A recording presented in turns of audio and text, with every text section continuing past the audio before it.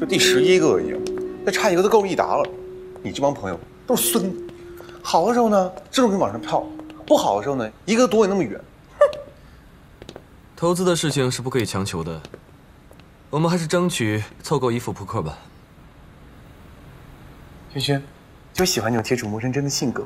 你放心，我一定会陪你浪迹天涯的。嗯。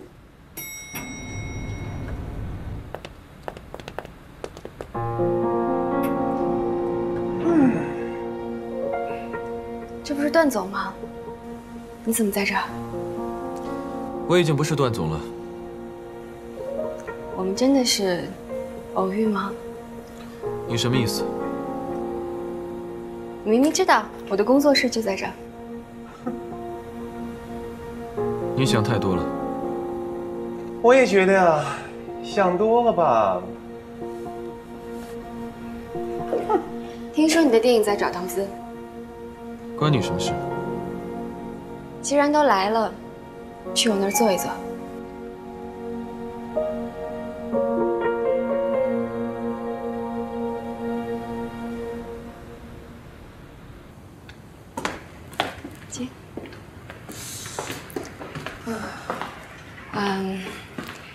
Jerry 哥，我跟段总有些话要说，旁边还有一个房间，你等一会儿行吗？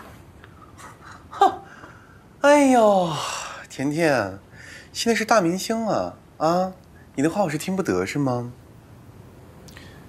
去旁边房间等我。好。哎，我告诉你黄毛啊，别欺负我们家吴给轩轩，我搁在门口等着呢。轩轩，别害怕，保护你。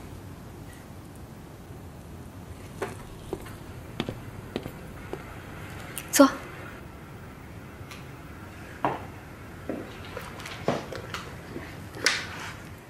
我这儿怎么样？还不错。比不上星宇，但是演戏也不能演一辈子。我看差不多就开了这么一个工作室，做制作也签签艺人。所以现在我该叫你一声刘总了。不敢当，就算是刘总也是挂牌的。我是星宇培养的，所以段总在我心里永远是段总。你可别这么说，刘总可是大明星啊，我现在就是个无名小卒而已。你跟苏城都分开了，还这么耿耿于怀啊？要是没别的事情，我就先走了。段总，等我把话说完，再走也不迟。给你三分钟。我就是喜欢你这个样子，一无所有，还是那么拽。两分钟。你知道为什么这段时间你做什么事情都那么不顺吗？因为你找的投资人都是我的朋友，你每找一个，我就多交一个朋友。是一个龙和女孩的故事吧？可能他对我的古装玄幻大电影你这样做算是报复我吗？不，我那么爱你，我为什么要报复你？以前你不相信我对你的感情是认真的，现在呢？现在你相信吗？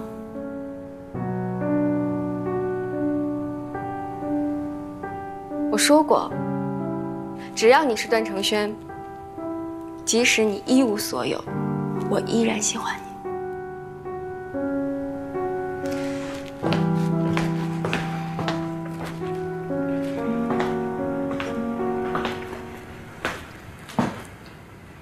还记得这个吗？我知道你什么都不缺，但是那天看到你的袖口有点摩擦，我就把它当成你和我之间的小秘密。我想买一个新的送给你，这个是一个大牌设计师的定制款。我花光了所有的积蓄，当初爱上你，花光了我所有的积蓄买这个送给你，可是你看都不看一眼，只责怪我弄坏了你的城堡。但是现在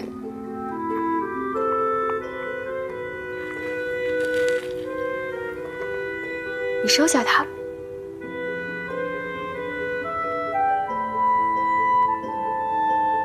我的人脉我的资源我所有的财产。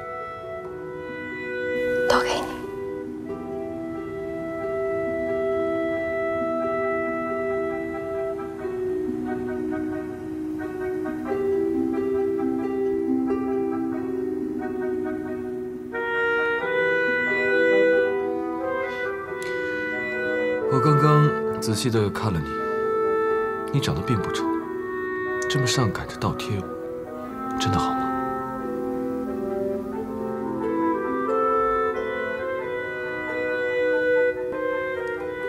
你确定要第三次拒绝我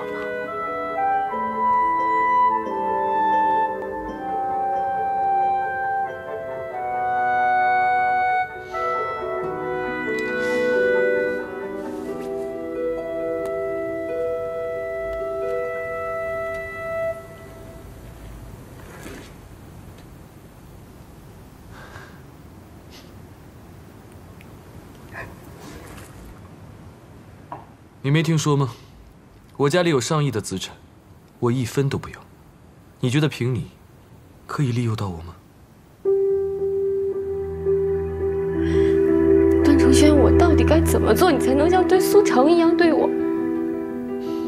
并不难，做梦吧。你清醒一点行吗？你睁开眼睛看一看，你一无所有的时候陪在你身边的人不是苏成，而是我。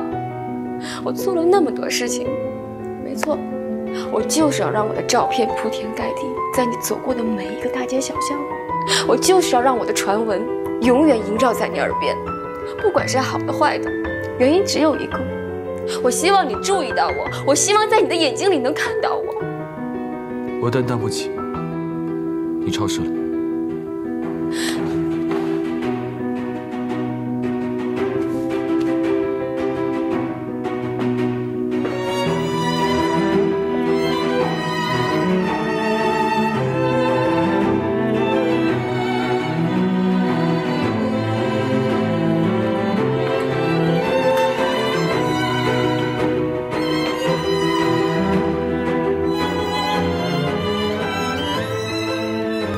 我差点忘了。